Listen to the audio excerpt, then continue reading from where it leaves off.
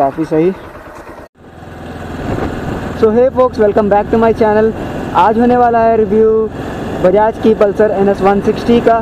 तो वीडियो में बने रहिएगा वीडियो बहुत मज़ा आने वाला है। और पल्सर फैंस के लिए तो मस्ट वॉच है तो वीडियो ज़रूर देखिएगा।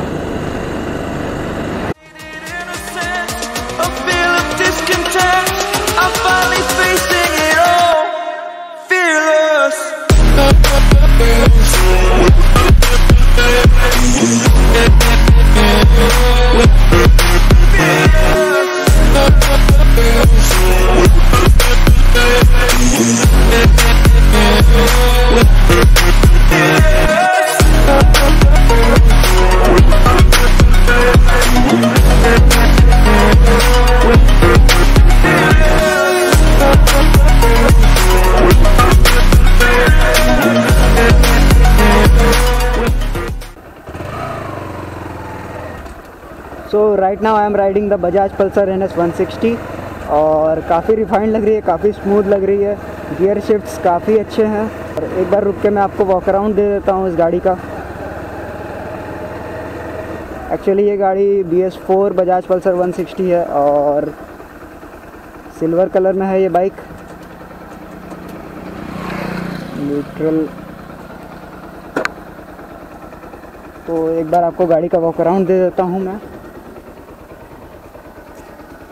इसकी आइडलिंग के साउंड भी आप सुन सकते हैं, काफ़ी अच्छी लग रही है।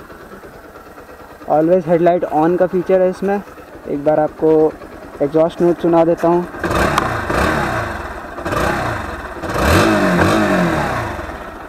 काफ़ी सही। तो थोड़ा सा चलाएँगे उसके बाद एक प्रॉपर रिव्यू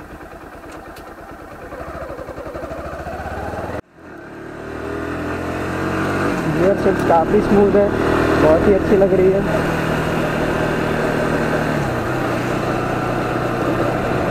और ब्रेकिंग भी काफ़ी अच्छी है।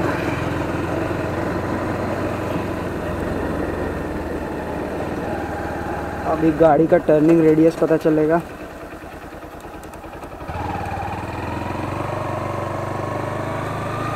बहुत ही आसानी से टर्न हो गई है। जैसे कि एन है तो naked sport street fighter bike है तो टर्निंग रेडियस काफ़ी अच्छा है। और बाकी बातें रुक करके करते हैं। इसकी एग्जॉस्ट की बात करें तो इसकी एग्जॉस्ट है अंडरबेली एग्जॉस्ट जो कि बहुत अच्छी साउंड करती है। और इधर आपको कुछ भी बाहर एक्स्ट्रा दिखाई नहीं देता है क्योंकि अंडरबेली एग्जॉस्ट है। सामने की बात करें तो आपको बहुत अच्छा सा एक हेडलाइट मिल जाता है, काफ़ी बड़ा लग रहा है, काफ़ी कूल और यहाँ पे पायलट लैम्प्स आपको मिल जाते हैं। इंडिकेटर्स जो है वो हेलोजन है और पीछे भी सेम हेलोजन इंडिकेटर्स है। Faux clip on handle bars बहुत ही अच्छे लगते हैं। और यहाँ पे आपको मिलता है नॉब इसका मतलब कि ये कार्बोरेटेड बाइक है। पीछे देखा जाए तो आपको मिल जाता है इधर साड़ी गार्ड और ये जो टेल लैम्प है, ये पल्सर का सिग्नेचर स्टाइल कोई भी देख के बता सकता है कि ये पल्सर है और ये टेल टाइडी काफ़ी ही क्लीन लगती है, काफ़ी अच्छी लगती है। काफ़ी प्रीमियम और यहाँ आपको मिल जाती है एन एस वन सिक्सटी की बैजिंग। ग्रैब रेल्स काफ़ी अच्छे हैं। सीट की बात करें तो थोड़ा सा ये हार्डर साइड पे है। यहाँ पे आपको बम्प दिया गया है ताकि जो पिलियन है वो आगे की तरह स्लिप ना हो जाए। यहाँ पे बहुत अच्छा एक टैंक पैड मिल जाता है। काफ़ी अच्छी क्वालिटी का है। मीटर की बात करें तो आपको ओडोमीटर ट्रिप मीटर स्पीडोमीटर सब कुछ मिल जाता है। यहाँ पे लो बैटरी इंडिकेशन है। यहाँ पे एंजल मैन फ़ंक्शन का लाइट है। यहाँ बजाज का लोगो यहाँ आपको मिल जाता है रेव लिमीटर जो कि 9500 आरपीएम के बाद जलती है।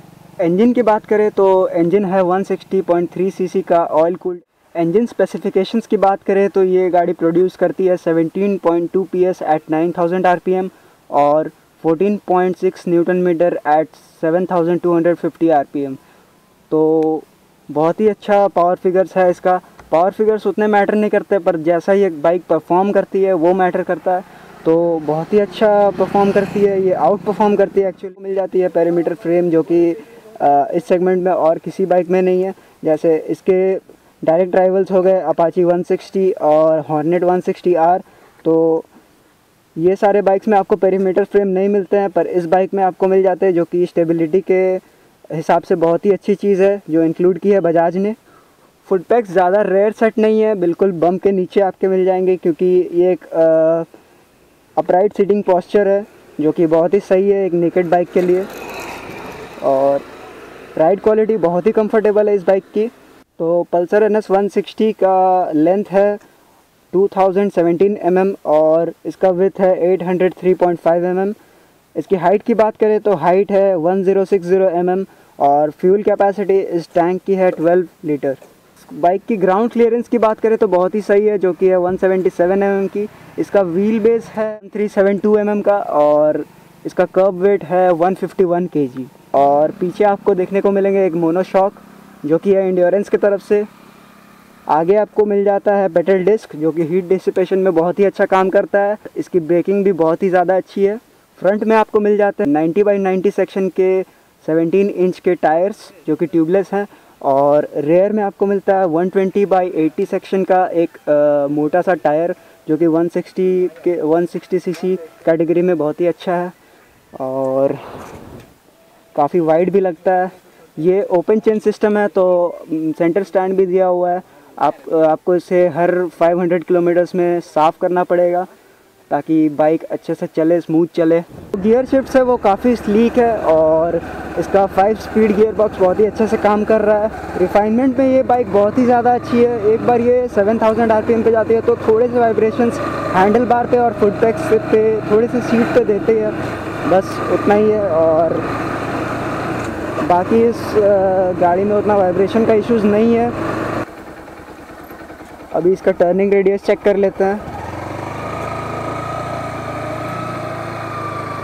तो गाड़ी काफ़ी आसानी से टर्न हो गई है। एक नेकेड बाइक है तो इसका टर्निंग रेडियस काफ़ी अच्छा है। और जो आप टैंक देख रहे हैं, बहुत ही मस्कुलर लग रहा है, काफ़ी अच्छा लग रहा है। सीटिंग पॉस्चर बहुत ही अच्छा है, काफ़ी रेस्ड लग रहा है। तो अब हम लोग कर लेते हैं इस बाइक का छोटा सा एक्सेलरेशन टेस्ट जिसमें मैं इस बाइक को रेड लाइन करने वाला हूँ। तो देखते हैं कहाँ पे आरपीएम लिमिट आता है, कहाँ पे गियर शिफ्ट्स होते हैं। और एक्चुअली मैं एन एस पहली बार चला रहा हूँ, मेरे पास है टू ट्वेंटी और मुझे नहीं पता इसका रेब लिमिटर कहाँ पे है, क्या है। फिर भी मैं ट्राई करूँगा कि बिल्कुल सही टाइम पे गियर शिफ्ट करूँ